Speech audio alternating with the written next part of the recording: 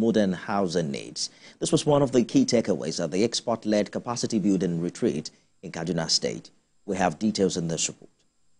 The Federal Housing Authority's retreat entered its second day with a series of lectures aimed at building the capacity of participants.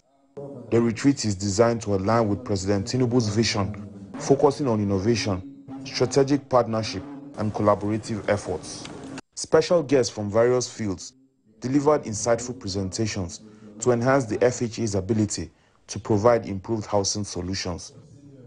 Key topics include sustainable town and urban planning development, eco-friendly architecture, and sustainable building design. Seasoned resource persons from various prestigious institutions served as discussants, sharing their expertise and insights. 20, 30 years ago, Gwarimpa was a mess. We don't want that type of thing again.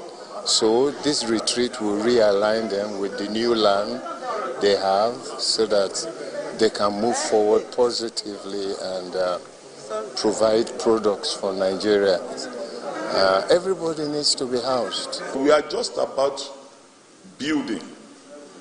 We only acquired the land first from government.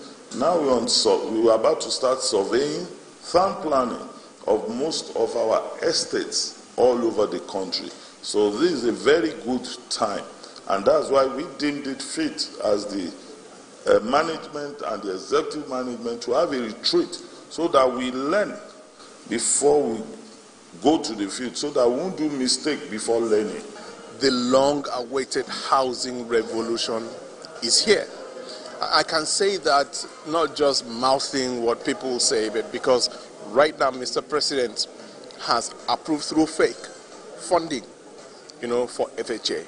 Uh, when you talk in terms of the two trillion for infrastructure and housing, and in housing you have FHA and Federal Mortgage Bank. So construction cost is there for FHA. Officials expressed optimism that this capacity building retreat will significantly improve their drive towards providing better housing for Nigerians. And Nigerians should expect fantastic, good products, housing products coming from FHA.